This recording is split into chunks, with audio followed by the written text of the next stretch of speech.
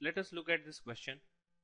Which of the following is most likely correct regarding the treatment of software development cost under US GAAP?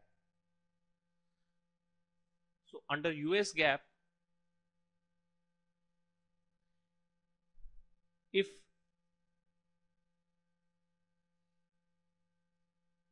if the software is developed for internal use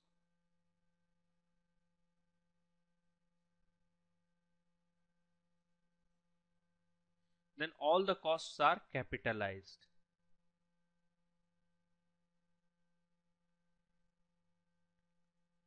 For internal use, all the costs are capitalized under US GAAP.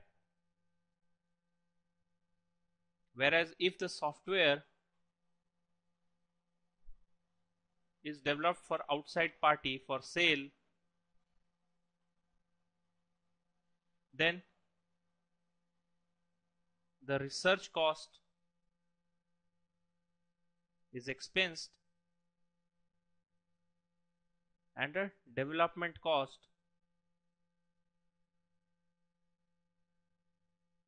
is capitalized.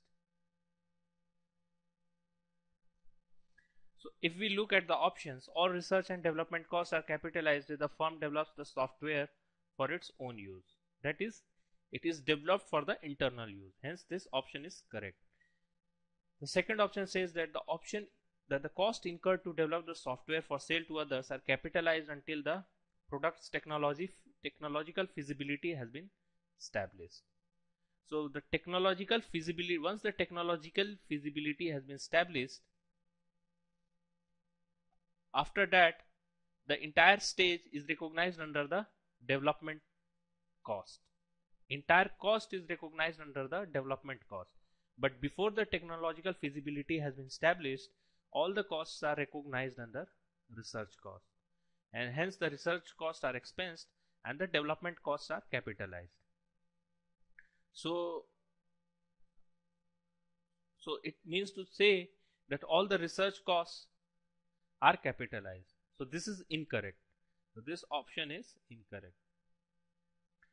The the third option says that the US GAAP treats it same treatment is same whether it is for internal use or the resale.